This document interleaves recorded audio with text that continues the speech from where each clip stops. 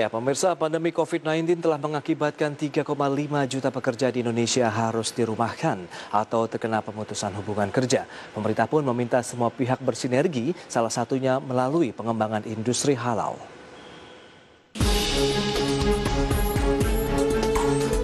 Pemerintah dalam hal ini Kementerian Badan Usaha milik negara sangat menyayangkan jumlah tenaga kerja yang harus dirumahkan akibat terdampak pandemi COVID-19 di Indonesia yang mencapai 3,5 juta pekerja.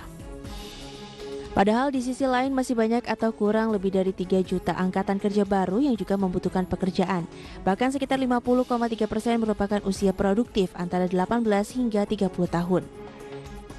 Menteri BUMN Erick Thohir pun meminta seluruh pihak bersinergi untuk mengurangi angka pengangguran dan menciptakan peluang usaha.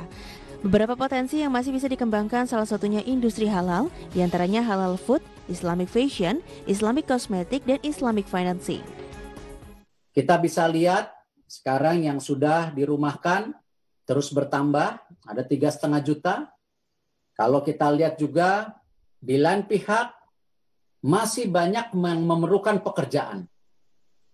Kalau kita lihat dari survei hari ini yang baru saja keluar berdasarkan uh, data-data 53 persen adalah usia kurang lebih 18 sampai 30 yang sangat produktif. Nah, karena itu sudah seyogyanya kita bersama-sama tentu pemerintah, masyarakat bisa membuat program-program yang bisa langsung mendapatkan kepada tujuannya. Tidak berkepanjangan dengan birokrasi yang berbelit-belit. Indonesia memiliki populasi muslim terbesar dengan preferensi terhadap kesesuaian syariah yang kuat.